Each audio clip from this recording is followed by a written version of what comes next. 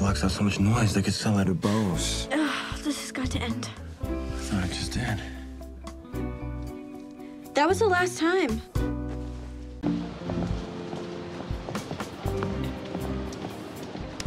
What if someone sees? You don't like that anymore?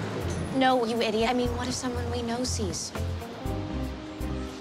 Wait, what am I saying? There will be nothing to see. This ends here. What about over there? Okay, hurry.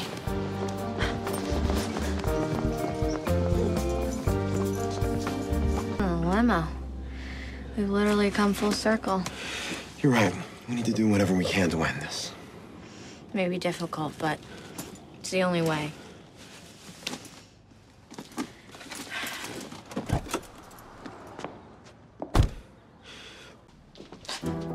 What are you doing here? Step any closer and I'll scream. You better believe you will. If we're going to end this, we have to start the immersion therapy right away. What are you talking about? This is a detox. We have to stay away from each other. Where's the fun in that? Cleanses aren't fun, they're effective. You know what's even more effective? Excess. Eat anything too much and you won't want it again. I hope you did your yoga. This could go on a while. No! Miss Blair, no. Professor Forrester is downstairs. What? Why? He's here for me as my date. A date? Yes, and I must leave now to go to the ballet with him and not have sex with you.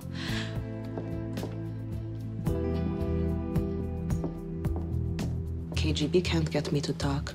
Chuck Bass has no chance. Blair, we need to talk, or rather not talk. What don't you get? I'm here with a date. Professor Forrester isn't a date, he's a distraction. Keep your focus. Give in to your desires, your needs. Let's finish this the right way. Colin isn't the distraction. You are. What? He and I made a deal. We couldn't be together until the class was over. But it's so hard, so I had to work out my desire somewhere. Nice try. I'll be waiting in a telephone booth across from the dress circle. I'll see you at five. There's nothing I love more than coming home with a victory under my belt. What do you think our count is? For us, a million. The world, zero. Sometimes I think a takedown's better than sex. Don't get crazy now. Well, it's an endorphin rush. Plus, it makes me think of old times. I really appreciate you stepping up tonight. I wanted to say you owe me, but for some reason, it didn't feel right. Wow. Holding back from a threat. It's almost like something a friend would do. Maybe that's because that's what we are. Friends.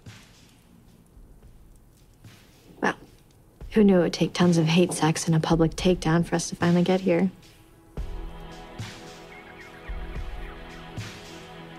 I should be going.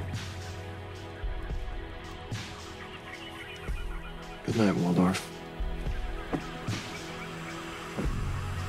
Same to you, Bass.